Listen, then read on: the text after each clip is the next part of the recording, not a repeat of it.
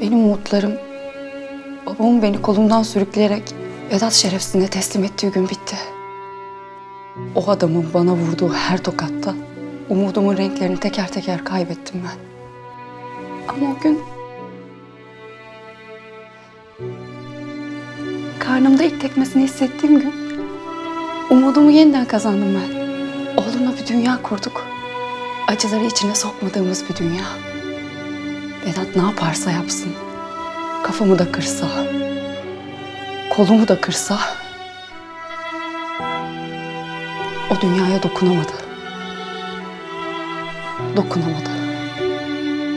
Ama sonra onun sesi karıştı dünyamıza. Tahir'in. Deli Tahir bizim dünyamıza girmeyi başardı. Öyle güzel baktı ki. Öyle güzel korudu ki. Ama bu masalın bir sonu yok.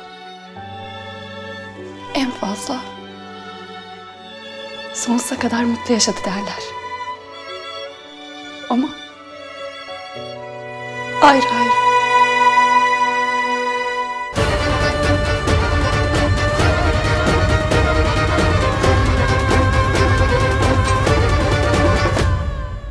And on lots cut off.